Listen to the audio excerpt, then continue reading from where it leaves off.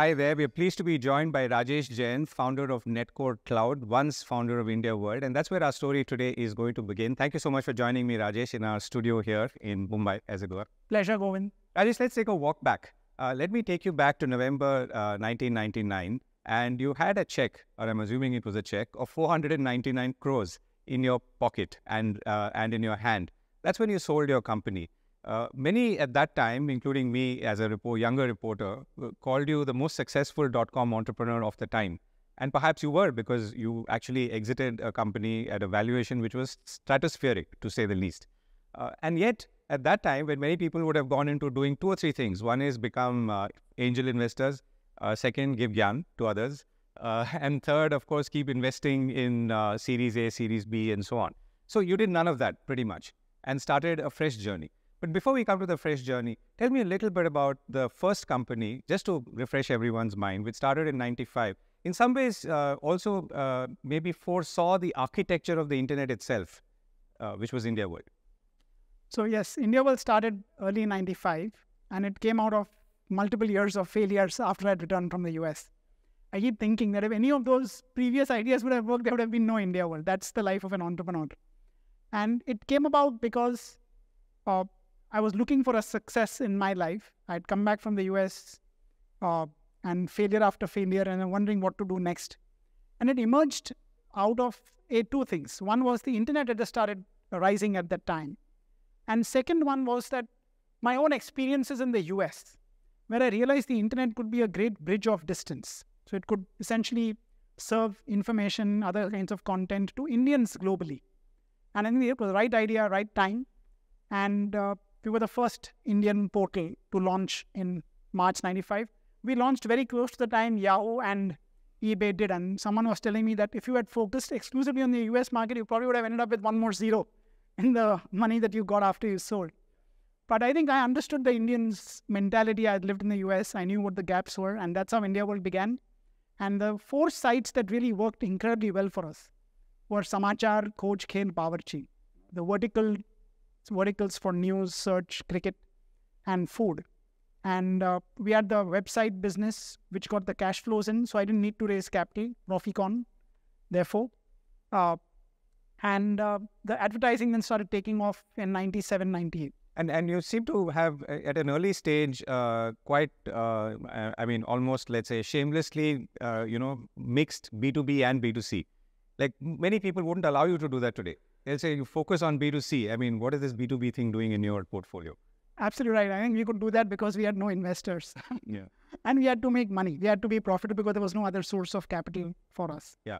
Let, let me take you back. Uh, you know, you were in NYNEX, which is a telecom company. Was that what, in a way, gave you the introduction to the internet, or was it just by looking around in the US? And this is 90s. I mean, yeah. it's a very different time. So, actually, when I left for the US for my master's at Columbia, my father had told me, finish your master's, nine months work, two years, and come back. So for me, the sort of decision that I had to come back to India was done. Once I finished two years at NYNEX, my father called me up, so time to pack your bags and be back here. And I wanted to be an entrepreneur. So I'd worked two years at NYNEX. I was very clear that I'd seen my father do multiple things in his life as an entrepreneur. I don't want to work for anyone else. That I was very clear about. So, but then what to do? So when I came back, uh, I was with a co-founder at that time, Sanjay Jain, and we tried multiple things image processing, multimedia databases. Unfortunately, none of those ideas worked. And then late 94, I was back in the US, spent two months at a friend's place trying to figure out what to do next in life. I'd gotten married. Uh, I was barely talking to my wife because I could see my company collapsing uh, at that time. And it was that time that when I went to the US in September 94, I, my first experience of the internet was through a dial up connection. And I said, This is incredible. You're sitting here and you can access pretty much anything anywhere in the world that people are creating every day. New sites, new pages were coming up. And I said, This could solve a problem which I faced when I wanted to come back. How do I get information about India? How do I get the cricket scores? How do I get news? How do I get what's happening in India? Because the only option was newspapers, which used to come 10 days later, or India Today, which was again a couple of weeks delayed. And from there came the thought that the internet could really serve as the bridge. And I had an audience which I had, uh, which was very similar to what I had lived through at that time, and that's how sort of India World originated. And you had a few other options to sell, and uh, you ch- you waited for something obviously which was the big one, but what made you not sell earlier and then sell finally? Yeah. So I had this habit. I would talk to lots of VCs and uh, uh, investors and potential buyers. I had this habit of telling them in the first meeting pretty much what my valuation expectation was. Most of the meetings, therefore, would not go to the second round.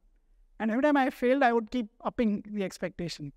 So there were multiple rounds which had not worked. We had the last uh, term sheet that I had got was from Bank of America for 13 million, one three. And on the day they were supposed to sign, they said that, look, we'll put in 4 million, which was agreed on, but you need another 4 million because everyone else was raising lots of money. I said, but where can I go and get 4 million more now? I don't have anyone else I'm talking to. They said, no, then we'll have to wait. And as it turns out, in that two months, as I was wondering what to do, we got two incoming offers. One was from mail.com, which owned India.com, a US company, and they wanted to merge India World or some Indian site and take it public on NASDAQ six months later. I mean, that was the time. Uh, everyone wanted to go public. Uh, and then Sify, Satyam Infoway, had just done an IPO uh, in India. Merrill Lynch had coordinated, DSP Merrill Lynch had uh, managed the IPO for them. So they had a lot of capital. They were like uh, an ISP in India with a very small content business. And the story that investors and they were thinking about was an AOL of India. So connectivity plus content. So they were looking for potential acquisitions. And DSP Merrill Lynch was my banker.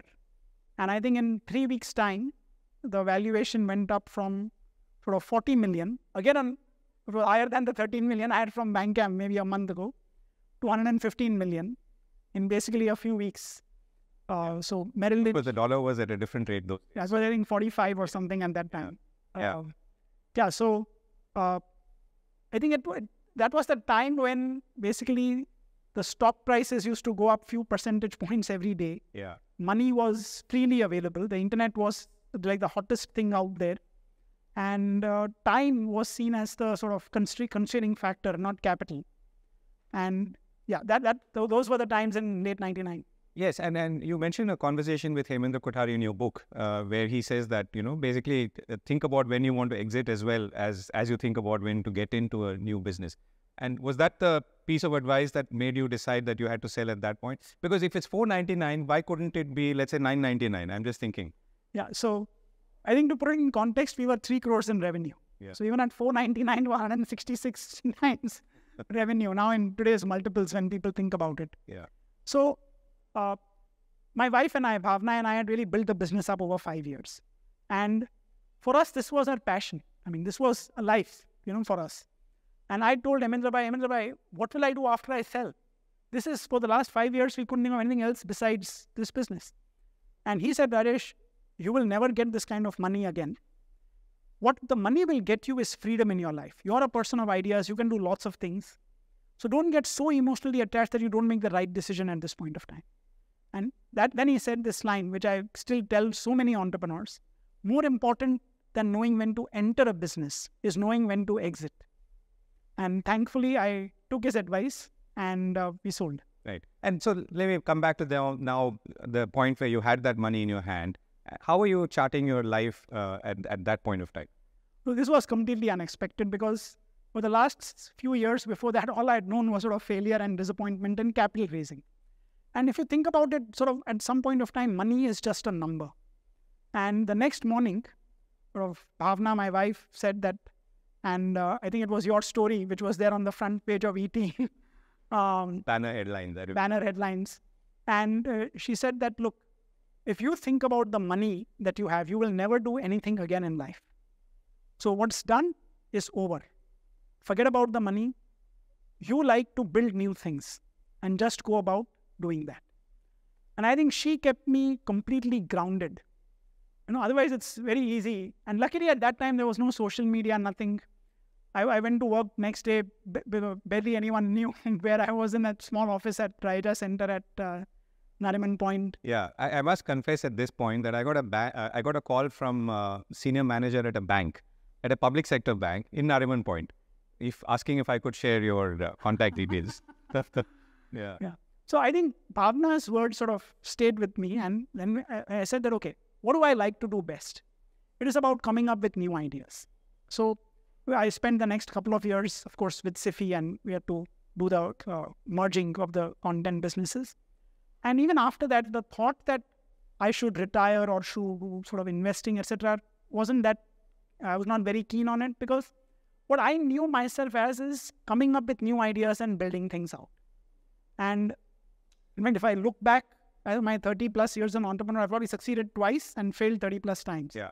But that's what I like. Even I tried investing for um, briefly around 2005, 8 in multiple companies, and I, I said I don't like it. I am the I am the builder. I love coming up with ideas, making them happen. Failure is part of this terrain because most of the ideas don't tend to work. But that's what gives me joy.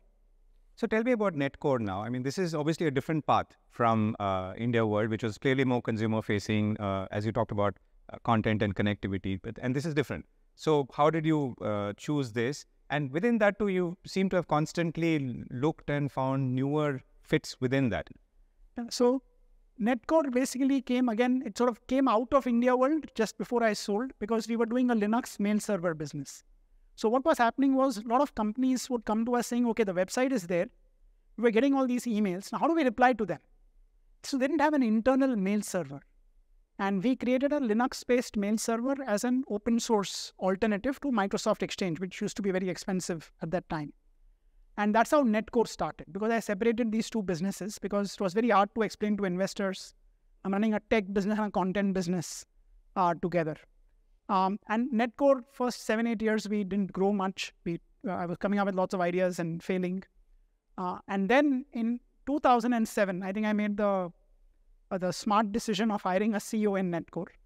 And uh, uh, then sort of we got serious about how to create creating business solutions to solve real problems that businesses have. And one of the key problems businesses had at that time was communications, communicating with their customers. So email, SMS were just rising at that time. And that's the path that Netcore sort of has been on over the last 15 odd years. The core focus has not changed much. It's about businesses, large B2C companies wanting to interact, engage, communicate with their brands, with their customers, sorry. Uh, and what has changed are the methods of those interactions, but the core problem solving that we do for brands has remained the same over the last 15 years for Netcore. Right. And now let me touch upon some of the themes that uh, seem to accompany you uh, and as you focus on them. So one is uh, not raising money or not taking money. So why are you so steadfast about that? I'm not steadfast. Actually, I have to thank all the investors who've not invested in me. I was just counting Govind recently, and I said there are 50 plus times I've been rejected uh, by VCs and PEs. So, uh, see, what happens is that my terms for getting in capital I put forth right up front. And I can do that because I'm profitable. So I'm not desperate for capital. And this drive for profitability has been there uh, since I began because those were, again, that was advice from my father where he said that, and that time, 90, mid 90s, he said, Bahar ka paisa nahi lena. I mean, the Marwadi instinct of not wanting to take external capital. In his mind, it was debt because he knew that debt could destroy businesses because of whatever interest payments and all of those things put together. And if I'm not taking external capital, then the only option is I've got to be profitable. So even though I didn't plan it that way, it turned out a little bit like this. And then I realized that if I'm profitable, and especially if I could get a flywheel going in the business where I could combine growth with profitability, I didn't really have to worry about being desperate for external capital. Now, because of that, and then the profitability of instinct has become part of our DNA. That if we can keep being profitable, we have freedom. You know, we can decide uh, what bets to make, what not to make. Think about the long term, and especially when you know troublesome troubles come, you know, crises come, like the pandemic period. You know, when revenues sort of collapsed for lots of companies, we didn't fire anyone. And I, I had this line where I said, "Unicorns uh, fire, proficorns hire," um, and that I think helps build a better business long term because employees now know that you know, you're not just you're not fair weather partners in their lives. Uh, brands know that because you don't have investors breathing down your neck, you're not going to just randomly make pivots or just lay off 10, 20% of the workforce. So you become a stable partner for both customers and for employees, um, which I think helps us also take a, what I call the infinite mindset, like in a Simon Sinek's phrase. that you can think much longer term beyond the immediate quarter. Uh, for a business, you can make longer term bets. And it's, I think, a happier life for everyone.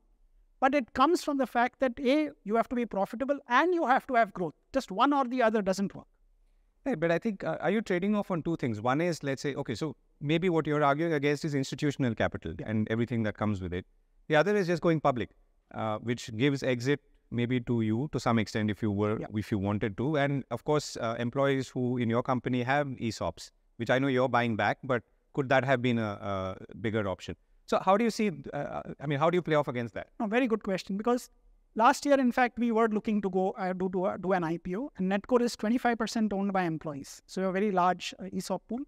And for me, the purpose of an IPO was twofold. One is, of course, liquidity for employees. Second is a currency for acquisitions. Mm. Because today, if I have to do acquisitions, I have to do it completely in cash As you did one very recently. with Unbxd, as we did last year. And we've done a few others, but Unbxd was a large size acquisition. Uh, so, of course, our plan is to look at IPO. Then the markets changed. It was very hard for tech companies to actually uh, list. Um, so I said, let's leave that aside for some time till market conditions improve. Also, for us, what's happening is now we are investing aggressively and expanding in US and Europe. So I think if we can do that, maybe wait for a little while, maybe wait a year till conditions improve, till we are able to show good traction on our international developed market expansion. I think that would be a very good story also to take to markets because there are very few global Indian product companies in SaaS and software which have a very strong domestic base and an international presence. And that's the part that we want to combine for a very solid story to the markets on down the line. Right. And I'll come back to the capital point. And since you mentioned software as a service, uh, you've admitted in your book that you made a mistake there. Yeah. That you thought that uh, selling could have be, could be direct, face to face. Yeah. And in some ways, you seem to have missed this whole SaaS revolution. Because early were, yeah, because we were selling in India and emerging markets like Southeast Asia, Middle East, uh, uh, Africa, all of the selling is was largely face to face. So we knew a lot of connects because of our presence here for 20 plus years. So everyone wanted to be in person. Uh, you know, you meet them in person, that's how the sales would happen. But what we had missed was the fact that there was this. So even though the software was on the cloud, we, so we were a cloud company in that sense.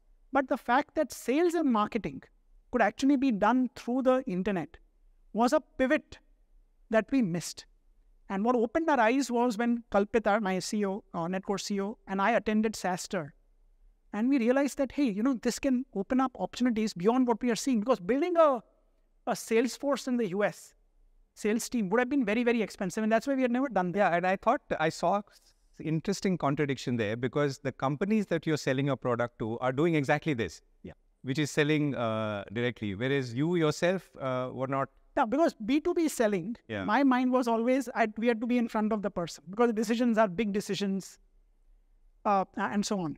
But what we missed out was that even buyers were changing. You know, for maybe twenty to fifty thousand dollars spent per annum, uh, they were willing to make decisions through the internet. And this was even before the pandemic. Yes. that was starting. Uh, so you don't need, really need a very large sales force. And companies like Freshworks and uh, others, Zoho, had done a very good job reaching out to global customers with their SDRs and the uh, selling teams, marketing teams, etc. in India with a very thin team, almost replicating what the IT services team had done, but they're done on the delivery side. Now it was the sales and marketing side for products. So that was the pivot, which I think we had missed out on. And luckily, we sort of, SaaStr opened our eyes to that opportunity. Yeah. Yeah, and, and I know you've talked about the importance of uh, meeting people, taking notes, uh, attending conferences, capturing them, so to speak, and therefore also saving money in getting those opinions. But let me come back to capital for a second. Uh, the third part of the other two uh, uh, questions that I posed. Now, uh, people could argue that uh, if you want big growth, you need big capital. Or alternatively, and this is what I'm trying to get out of you, is it that the architecture of the internet is such that you have to fundamentally build and grow in that sort of bootstrapped way rather than go gangbusters? No. So both the options are possible. Now the question is, what do you use capital for? Now, I think in B2B SaaS companies, the primary purpose of capital is largely sales and marketing.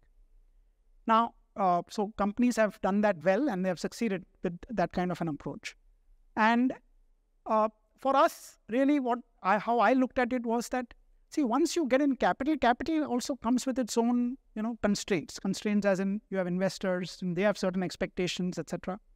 And it forces you down to a sort of narrower mentality. Now, not that we are averse to raising capital. Like I said, I keep having conversations.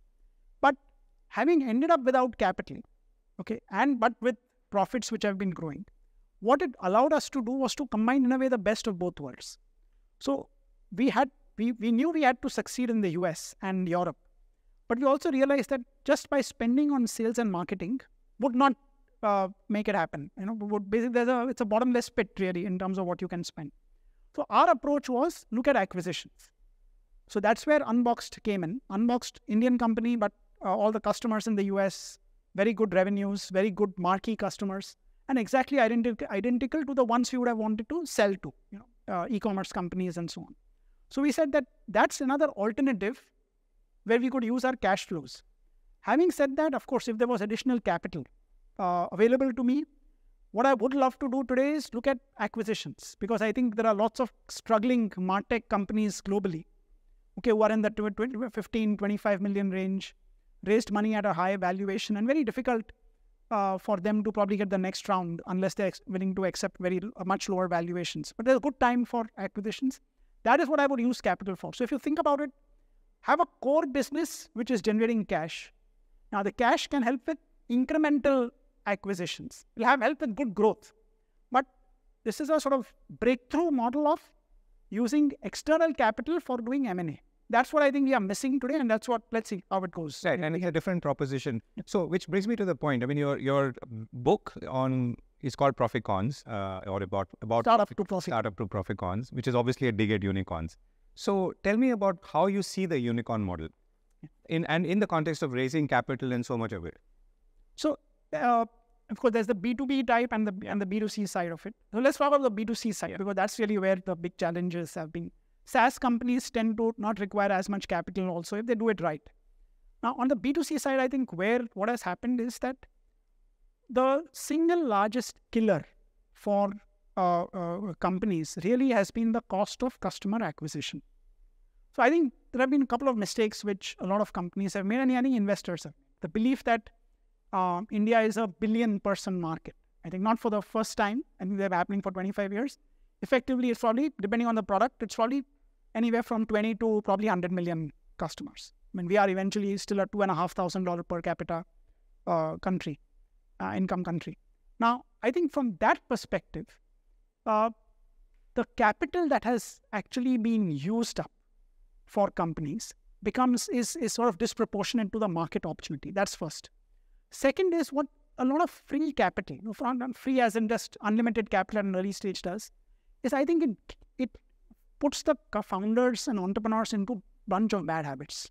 Indiscriminate hiring, there's no controls on spending which happens, and you can never build a business like that See, what is what, uh, Fred Reichheld in his book uh, Winning on Purpose said, "What's the best business you can build? It's about bringing back, uh, uh, uh, how making sure your customers come back and bring their friends and family. There is no reference to spending billions of dollars on what I call ad waste on the customer acquisition side. So." But that's what uh, people ended up because that's what the investors wanted. Every Monday, you want to show growth in new customers. But what's missing out, and this is what I call sort of the folly of many entrepreneurs and marketers, has been ignoring existing customers.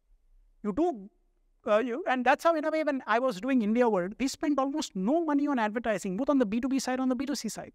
I would build good websites, I would get references. Hey, my friend who's running this business would like another website. Why don't you go and talk to them? And that's how we grew because we had no money, it forced us to take care of our existing customers. And in a way, I think if unicorns actually thought about it, that if I have to build a lasting business, the only way I'm going to do it is by being sustainably profitable. Or how I like to put it is, how do I think of exponential forever profitable growth? And that requires a different mindset, it requires a different model than having a constant inflow of investor capital which is basically then meant uh, to to show certain metrics on every Monday morning meetings. And but there seems to be like a fit of two kinds of thoughts, right? So one is that uh, many entrepreneurs are not thinking of businesses in that long-term sense, which Yeah. which you're clearly describing. And second, if you are thinking short term, then this is the way to do it. Acquire those 100 million customers or show 100 million downloads and then sell and then move on to the next thing, whatever that is. Yeah, but short term, I don't think works. I mean, it may work for a few of few entrepreneurs. I think as it has worked, but it's never a sustaining business model. I mean, in my mind, what entrepreneurs have to do is to run the business as if you're going to run the business for life. Of course, you keep looking at opportunities which come. So you're on a highway where there is no exit. Because that's how you bring in the passion, that's how you make the right decisions on a daily basis. Otherwise, your half your mind or 80% of your mind is just sitting on what metric do I grow to make it attractive for a buyer? But what if, this, what if those buyers don't show up, which is what's happening right now? Or what if those investors don't show up? Then you're in trouble. And that leads to the death of a business. So the aberration was the easy availability of capital, which many entrepreneurs took as the normal. That was the aberration. Because businesses have to be built on fundamentals. Fundamentals are about taking good care of existing customers, growing the business profitably, and then reinvesting those profits for further growth. Some businesses do require initial startup capital, but that cannot be the norm that after 10 years, I'm being called a startup and I still need like another few hundred million dollars of raise. That doesn't make sense to me. Right. Let's let's look within the company now and uh, and and the running of it. Uh, you know, there's some interesting things you've talked about in terms of how you allocate your time. I think the one important factor, you, as you've said yourself, is the transition to a more professionally run uh, setup, and then taking a step back and not allowing multiple layers to build up and so on. Uh, the second is the way you manage costs. And I think you pointed out the dichotomy that you know too much of cost management can be also bad, and uh, none of it, of course, can be uh, dangerous. And I like two things you pointed out there. Uh, one, you talked about, uh, I think, an uncle of yours who said that you know don't look at the chori that happens in any company because it happens, and ignore it. And the second is, I think you've talked about uh, your hundred dollar benchmark. Tell us about that.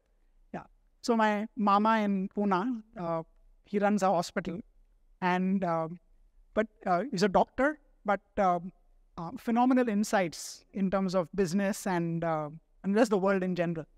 And he said, in any place, in any business that you run, there will be some three percent, five percent chori. You have to assume it, or two percent, whatever be the small number. If you try and optimize that, you will basically be sitting and trying to clear every invoice, every bill you just waste a lot of your time on that. So it doesn't make sense. Accept it as cost of doing business and go on and go on with life. And I think that makes a lot of sense because the only way you can delegate is if you trust. Otherwise, every everything is going to just come back to me. And I'm, I'm going to be just caught up with all these monkey problems, as I also mentioned in the book. Yeah. Now, the second, People come to you with monkeys, and you want to ensure that they take it out with them. yeah, otherwise you're in a room full of monkeys. Yeah. Monkey is equal to problem. Yeah. um, now, on, in the, on, so that's on the business level. On the personal side also, many times we basically make decisions trying to over optimize on uh, spending that we are doing. And this idea came, or this realization came to me when I was trying to optimize on a hotel in New York. Yeah. And I spent probably a couple of hours trying to find a $50 or $100 cheaper hotel. And I said, you know, this is like two hours, three hours I've spent to save a few. What, what am I going to save at the end? So I call it the $100 delta decision rule. Because what happens is many times we look at the absolute value of the cost. Oh, this hotel room is $350, I can't pay for it. Now, I was prepared to pay 250 350 I'm not, and therefore I'm trying to optimize. Because the 350 number is a barrier. But I'm not looking at the delta costs. The delta is $100.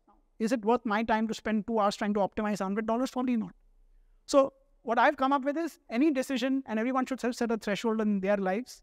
Any decision, say less than $100, the answer should be a yes. So, if you're buying a book, no, no point thinking, Or a subscription, which you. or a subscription of a magazine. I mean, as long as it's going to be of some value, just say yes. Overall, you know, how many such decisions are you going to make in a year? Okay, most of the times it's not large enough to make any material difference in your life. Right. So let's talk about uh, you know as you look ahead, and you know uh, you've talked about how you brought in different kinds of businesses uh, into into the Netcore fold, as it were. What's your source of ideas, and and how do you how uh, I mean, do you feel that as you look back, there's a frequency, or what's triggered those ideas, and where do you typically get them, and maybe what can others learn from them? So there are ideas, there are multiple sources. And I think the first key thing for any entrepreneur, if you want to get sort of new ideas, is to have contiguous time, which means not spending too much time on social media trying to respond to every incoming LinkedIn message or tweet that is there. Now, once there's contiguous time, you can meet with customers because they are the best source of ideas. They will not talk to you in their language. I'm very attentive to the words that they use to describe the problems that they have. They don't know the solution, but that's what the entrepreneur to do. Give me an figure out. So when I was there in the US recently, uh, uh, a few months ago at uh, trade shows, and, and conferences at the trade shows are standing at the booth is the best time to learn because people are coming by from all over.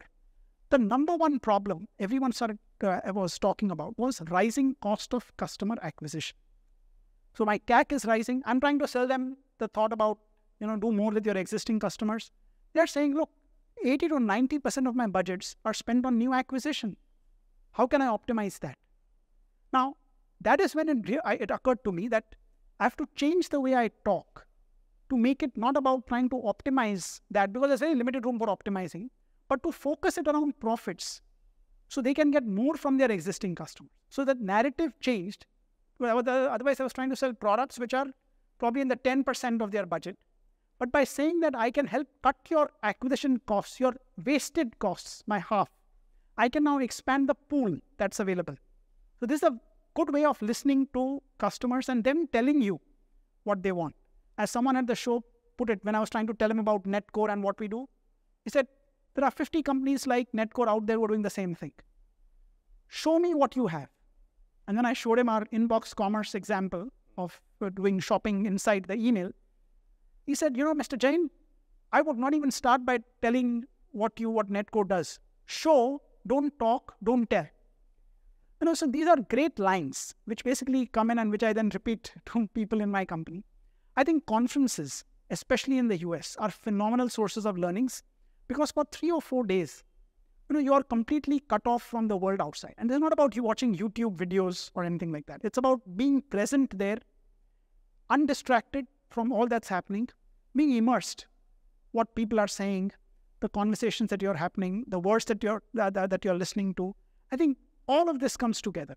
And for me now, all of this has sort of come together with the writing that I do. I used to do this a lot before my political work, and I've gotten back to it in 2020. I write every day um, on my blog, rajeshjain.com, which means that I have to have a source of new ideas. And I feel I find that this uh, sort of flywheel of reading, writing, talking, uh, um, learning from conferences becomes a virtuous cycle of its own uh, where the ideas tend to flow.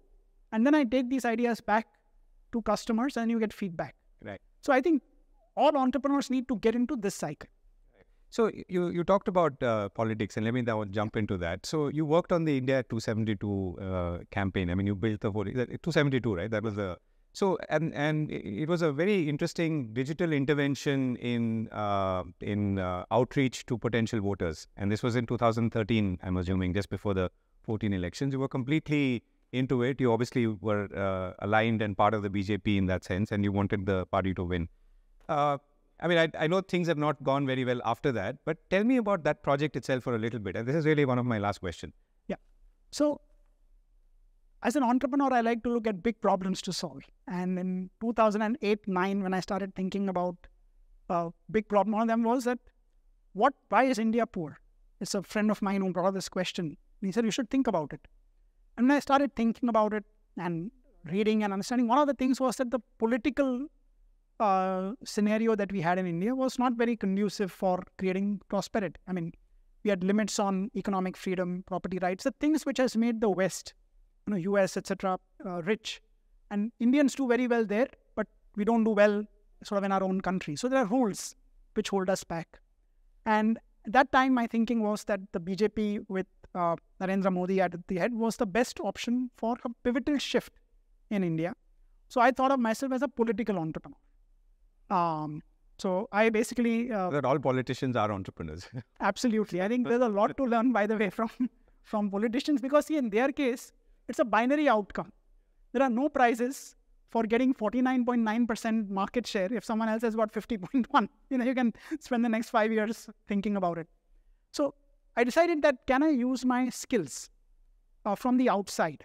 And I invested my own capital. I put a 100% team working on media, data, analytics, and volunteering to, uh, uh, to basically pivot the thinking from the BJP getting uh, uh, sort of the highest seats to getting a majority on its own. So that's what I call Project 275, which I wrote publicly about in 2011, saying that the strategy for 182 is very different from 282.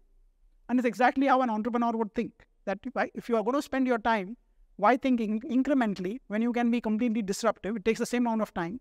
The odds of failure are more or less identical. So might as well go with the big ideas.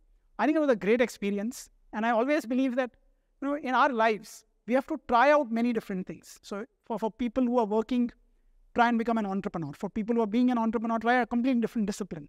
And there are good learnings which you take back, very happy memories of the time that I did there. But then I realized that my where I can be most effective is being a tech entrepreneur, not on the political side. Okay. Last question. Uh, you know, so uh, in November 99, uh, you had 499 crores and uh, you were obviously much younger. Uh, today, if you were to sell, whatever the price might be, obviously it's going to be a lot. Uh, you are looking at uh, IPO in any case, but obviously you would continue to run. Yeah. But assuming you were to do an outright or someone else would take over, would you start again? I would start again. Entrepreneurship is the only thing I know. This is what I've done for the last 30 plus years, but probably in a different domain. In today, being an entrepreneur uh, in the tech space, etc., is a five to 10 year commitment. Okay, so I'm not very sure I will probably have that same level of commitment uh, for the long term, but I think there are different areas. Like one of the areas uh, which I'd love to spend time working on is that India needs great institutions for freedom and prosperity you know, like the kinds which have been built in the US. A lot of institutions which are there, whether it's in the socio-political space, academic, educational space, or even the cultural space, they are all uh, with very small budgets, you know, and which don't give them the scale. But what if we could think of whether it's think tanks, whether it's uh, departments at universities, with a hundred million dollar budget each? So my dream is that uh, maybe in, for the next ten years, after some point of time, uh, uh, can we can I take one big idea a year with a hundred million dollar budget and build it out to may just make the next generation of Indians richer and more prosperous, which is which should be really uh, they shouldn't have to leave the country to to become uh, to become free and rich. Right, right. Rajesh, uh, that's a wonderful note to end on. Thank you so much for your time. Thank you very much, Govind.